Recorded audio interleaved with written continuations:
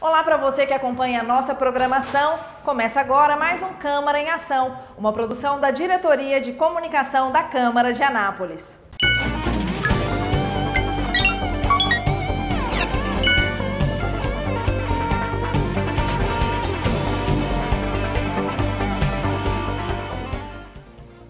Na sessão de quinta-feira, 25 de junho, a Lei de Diretrizes Orçamentárias para 2021 foi aprovada em primeira e única votação. O vereador Teles Júnior foi o relator na Comissão de Finanças, Orçamento e Economia e explicou sobre o projeto. Nós tivemos a honra de ser escolhido pelo nosso presidente da comissão, Pedro Mariano, para ser o relator. Se acatava não acatava as emendas apresentadas. Lapidamos algumas e acatamos e apresentamos com voto unânime todos os presentes da comissão votaram favorável ao relatório que fizemos. Porque tivemos a, o cuidado de observar se realmente aquilo apresentado, primeiro, era viável financeiramente para o fôlego do município. Segundo, se era necessário dentro de um encaixe de uma política pública que fosse melhorar a vida do cidadão de Anápolis. E terceiro, se estava numa linguagem correta, regimental, que rege os trabalhos do Poder Legislativo. Então, esse foi o nosso cuidado e com certeza nós esperamos e aguardamos o voto favorável de todos os presentes aqui no dia de hoje e 2021 seja ano melhor ainda do que o 2020 na execução dos trabalhos baseado na LDO votada no ano de 2020.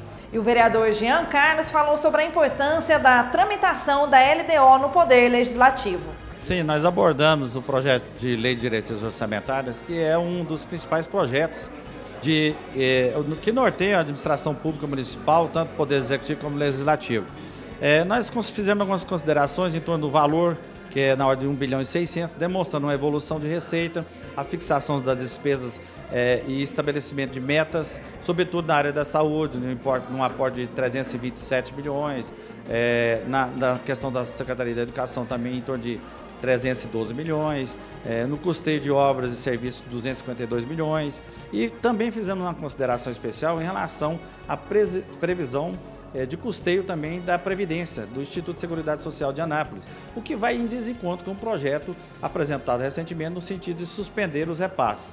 É, demonstrando que há um equilíbrio fiscal e que há previsibilidade de custeio, conforme estabelece o corpo da lei e o plano de metas da, do projeto de lei de diretrizes orçamentárias.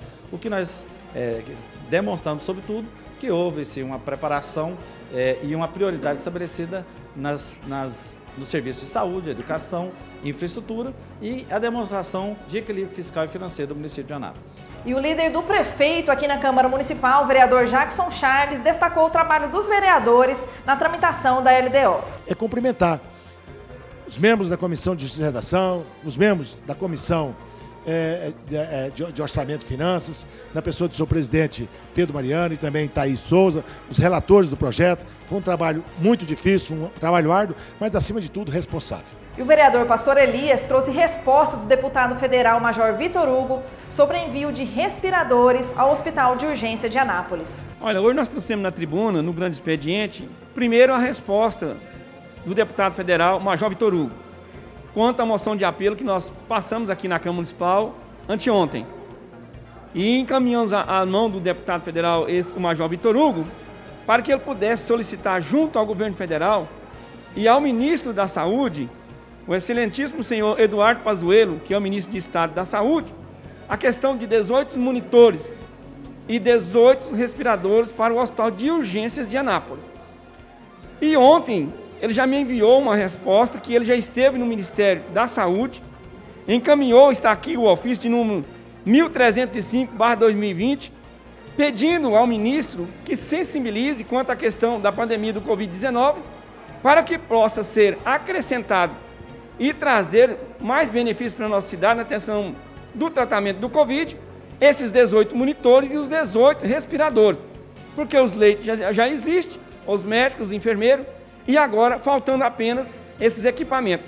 E o Câmara em Ação fica por aqui. Acompanhe mais informações dos vereadores em nosso site, no YouTube e também em nossas redes sociais.